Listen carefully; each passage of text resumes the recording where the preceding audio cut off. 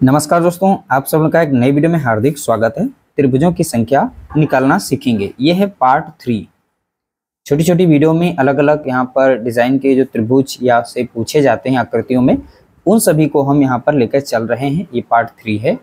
इससे पहले हमने दो पार्ट निकाल दिए हैं और यहाँ पर सीखेंगे इसमें हम टोटल इनमें त्रिभुज कितने हैं। देखिए सिंपल जो हमारा त्रिभुज होता है कुछ इस तरीके से होता है। इसमें पता है संख्या कितनी है? एक।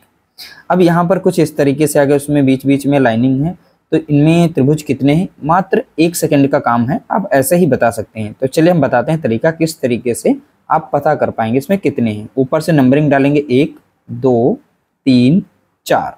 तो टोटल यहाँ पर नीचे की संख्या कितनी आ गई? चार। तो टोटल इसमें त्रिभुज की संख्या कितनी है? चार। ठीक है? ध्यान रखिएगा, चार ही है। अब यहाँ पर मान लीजिए इस तरीके से एक त्रिभुज दिया गया है, उसमें एक लाइन खींची है। इसमें पूछा गया, त्रिभुज की संख्या कितनी है तो आप नंबरिंग करेंगे एक, दो।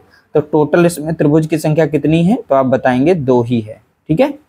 अब यहाँ पर एक इस तरीके से मादिका जब खींची जाती है तो इसमें कैसे पता करेंगे त्रिभुज कितने हैं? देखिए, यहाँ पर नंबरिंग करेंगे एक और दो। जब मादिका इस तरीके से काटती है तो इसमें टोटल त्रिभुज कितने बन जाते हैं? तीन। अब कैसे बनते हैं? देखिए, एक यहाँ पर है एक यहाँ पर है और एक ये बड़ा सा है। तो कुल मिलाकर तीन। इसका तरीका हमने बताया था, दो और एक जोड़ लेंगे तब भी हमारा कितना आ गया? तीन, ठीक है? तो इस तरीके से। अब इन दोनों फिगर को जब आपस में कंबाइन किया जाता है तो कुछ इस तरीके से फिगर बनेगा। तो अब इस फिगर में त्रिभुजों की संख्या कितनी है? हमने जैसे नंबरिंग यहाँ पर की थी, उसी तरीके से नंबरिंग यहाँ पर करेंगे। जैसे एक और दो, ठीक है? एक और दो टोटल इन दोनों को जोड़ेंगे तो कितना मिलेगा? तीन। अब यहाँ पर इसका बेस था ये, ठीक है?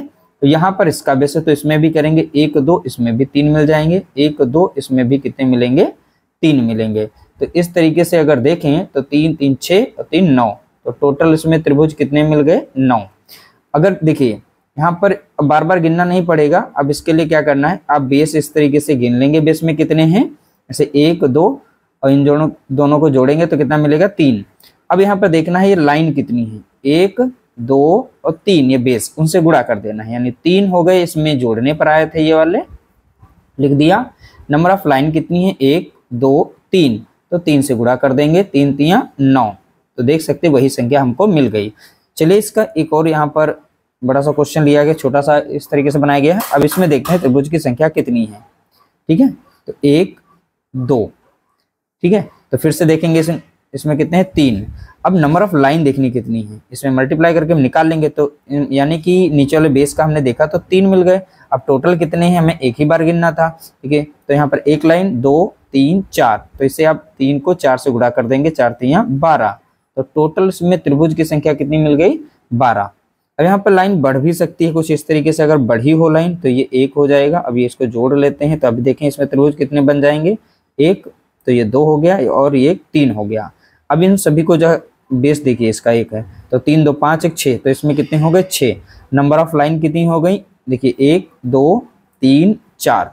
तो चार से कर गुड़ा करेंगे तो छः चौक चौबीस। अब इसमें त्रिभुजों की संख्या कितनी बन जाएगी? चौबीस बन जाएगी। तो ये कुछ तरीका था इसका। बहुत ही आसानी से आप त्रिभुजों की संख्या निकालना सीख गए होंगे। वीडियो अच्छा लगा हो तो लाइक करिएगा शेयर करिएगा।